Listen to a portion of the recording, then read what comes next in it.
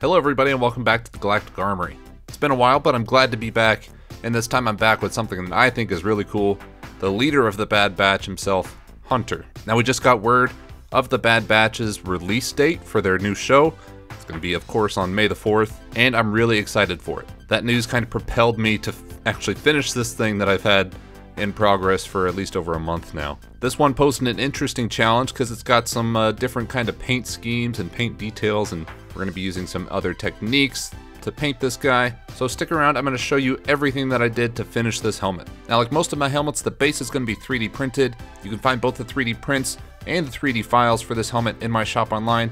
Be sure and check out the description for that. I like to cut my helmets into three main pieces just to make it easier to fit on the bed as well as minimize the chance of a massive print failure if you were to print the whole thing in one piece. So the first step is going to be to assemble those pieces. And we want to do it in a way that ensures this helmet is going to be sturdy and stay together. So what I like to do is first sand the edges of the helmet so that we get some nice joins between the pieces. We don't want any uh, gaps or open space that really is going to make the process a lot more difficult, and doing this is going to save us a lot of time. After I've sanded down all the edges, I like to take a soldering iron, which is basically just a really hot pen, and weld the inside seams together as I use a CA super glue on the edge itself. Now this CA glue takes only about 30 seconds to a minute to fully harden and cure, but that soldering iron is going to melt the inside seams of the plastic essentially welding it together, and that's going to provide a much faster seam. So this way we don't have to hold the helmet together for a minute with the chance of it sliding or misaligning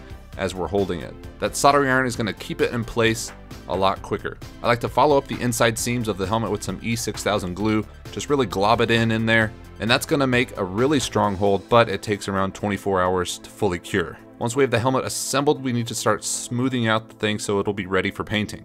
Now for the smoothing process, this is kind of a newer technique that I use. You might have seen it featured in a recent Uncle Jessy video, but it uses SLA 3D printer resin. It's a di whole different type of 3D printing, but this resin is a liquid that when it reacts with UV light, it'll harden, and we're gonna use that to smooth out our helmet. Now here I just have some runoff resin from cleaning out the resin tray or just some scrap resin that didn't fully cure, like runoff. It really doesn't take a lot of resin for this, so, so I like to just use whatever resin I have laying around. For example, maybe it's a really ugly color that you can't really use that often, but it takes so little resin, I'd estimate you could probably finish at least a dozen helmets with a single 1000 milligram container of it, which is about $30 for the US. But we're just gonna use a sponge brush to lightly brush over this entire helmet. As you're brushing it on, you wanna do it in kind of light coats. You wanna make sure that there aren't bubbles because those bubbles will actually harden and then you'll have like hard bubbles on your helmet which don't look good. You want to get the surface as smooth and consistent as you can. That way when the resin hardens, you're going to have a smooth and consistent surface to sand on. Now as far as the number of coats, I only do about two per helmet. I'll lay one on and then harden it for a bit and then lay the second one on and that's usually when I start sanding for the finished helmet. You want to be careful to avoid any detail areas. For example, I did not put any resin in the three uh, vents on each side of the cheek since it is a liquid, it'll like fill in and it'll be really, really hard to sand the hard corners. So I just opted to uh, leave those empty and fill those in with another method. Where this resin really shines is just covering a large amount of surface area that doesn't have a lot of details, which is most of the helmet. So this stuff is excellent. It doesn't smell like some of the other resins that I've used in the past, and isn't a two-part mixture that you can possibly get wrong. So it just makes things infinitely easier without the bad smell or the complications of other types of resin. Now, like I said before, this stuff cures and hardens from ultraviolet light, which you can either get a UV lamp and cure this by hand, set it like in a box filled with UV lights, or what I usually just do is set it by an open window, like rotating it every day or so because the ultraviolet light from the sun is actually going to harden this as well. Like I said, you need to rotate it because the areas in direct sunlight will harden a lot faster than areas without it, so you don't want one half of your helmet hardened while the other half is still kind of tacky. But after two coats of this stuff, we'll let it fully harden for a few days, and then we can start sanding. Now I was kind of a big dummy here because I didn't wear a respirator when I started hand sanding this thing. You definitely want some kind of lung protection for this because the particles of this resin, once sanded, get really fine, and you definitely don't want to be inhaling this stuff. That said, I use a 120 grit pad of sandpaper, and I just kind of hand sand it very lightly all the way around, just to kind of smooth out the helmet, get up all the rough spots from the resin or the high spots, and just do kind of a general first pass of the helmet with some sandpaper. You could see some areas on top of the dome like where those layer lines are really heavy, still kind of need some more work, but that's okay. This is just going to be a first pass of the helmet. And we're going to shoot for getting around like 80 to 90% of the layer lines. The next step is going to be adding some filler primer, kind of just doing a first over general coat of this stuff. It's going to fill in some of those layer lines, not a lot because we're only going to do one coat, but it's also going to help us identify spots that still need a little bit more work. This resin technique isn't perfect the first time around and we definitely didn't do as much sanding as we need to, and this filler primer is going to help us identify spots that still need more work. So now that we've identified our spots that still need a little bit more work, we're going to use a product called Bondo Glazing and Spot Putty. You know, I've used this stuff in a lot of other helmets and it's just a great tool all around.